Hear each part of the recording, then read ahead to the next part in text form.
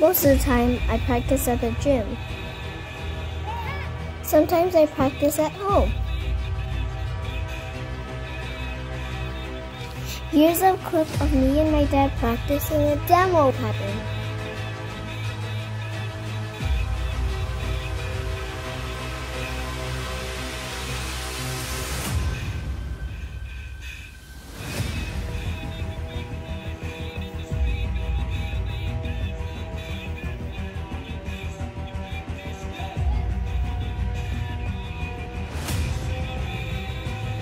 He eventually got it.